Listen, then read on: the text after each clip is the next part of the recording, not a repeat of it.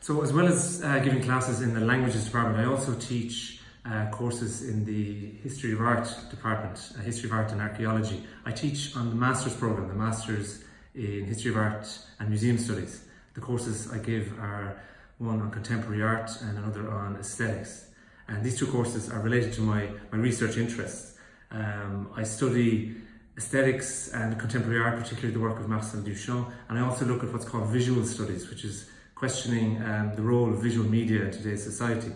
So for me, these are very important questions to ask, and I'm constantly engaged in these types of um, studies. How do images relate to our everyday lives, and how does the question of art and aesthetics help us to understand images in a new way?